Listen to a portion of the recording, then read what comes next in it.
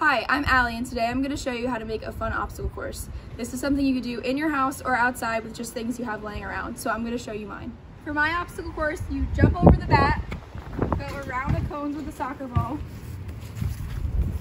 jump over the bench, throw the balls into the bucket. It's okay if you miss, you can try it again.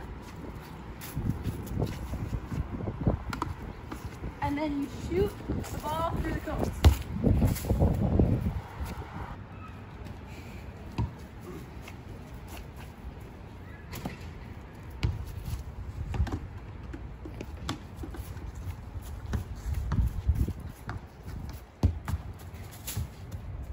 you have parents or siblings who want to join in on the fun, time yourselves and see who goes faster. And make it a race. Have fun!